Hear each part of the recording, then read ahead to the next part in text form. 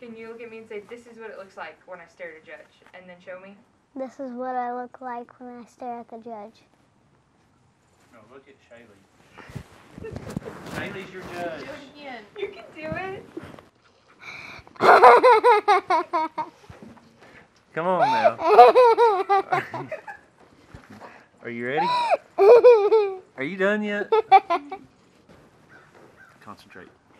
We're fixing to go on the ring. All right. This is the grand drive.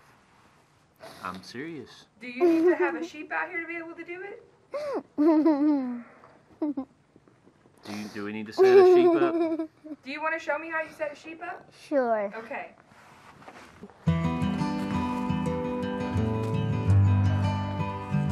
Hi, my name's Paisley. I go to Big Bismarck Elementary and I show sheep and goats.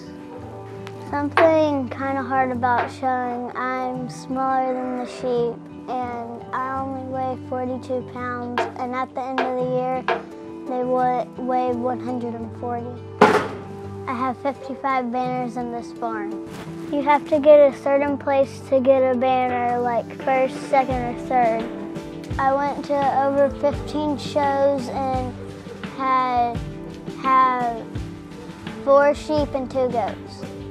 23 showmanship wins, 16 grand champion, 14 reserve champion, 55 banners, 13 belt buckles, and 3 purple circles. If you're going to a show, you need to clip your sheep, blow their legs, and wash them. Growing leg hair takes forever.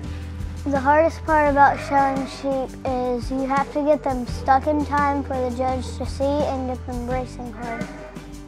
I have to stare the judge down, make sure all my legs are in place, and I need to keep her head up and get low.